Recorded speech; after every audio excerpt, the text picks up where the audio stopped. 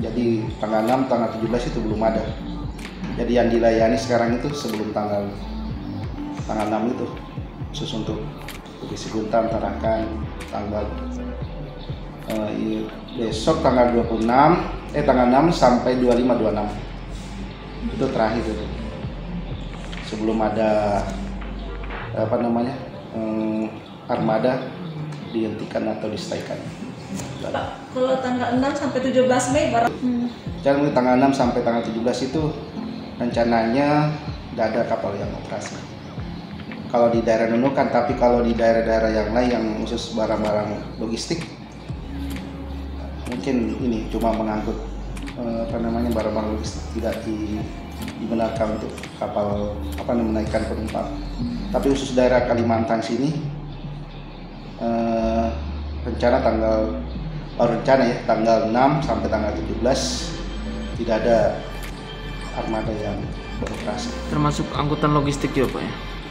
Kalau kalau angkot angkutan logistik mungkin masih jalan ya kan? Kenunukan gitu. Iya. Kalau kita kan tidak ada ini seperti tol laut kan masih bisa jalan. Itu aja untuk ini peniadaan arus mudik aja.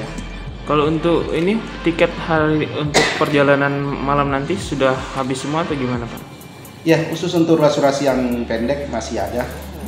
Tapi ruas panjang itu untuk mau mere sudah habis. Tapi untuk seperti yang dekat-dekat seperti apa aja Pak yang masih ada? Ini kita ini apa namanya ya minta tolong media massa untuk eh, sosialisasi tentang pelarangan mudik itu tanggal 6 sampai tanggal 17. Jadi sudah ada juga itu dari Satgas. Untuk pemberhentian, tapi kita sudah melaporkan Pelni pusat sudah melaporkan juga tentang skenario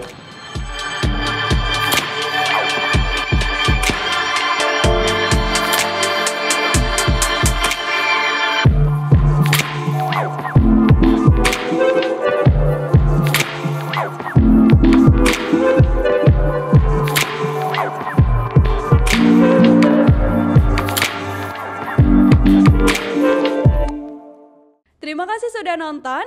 Jangan lupa like, subscribe, dan share ya.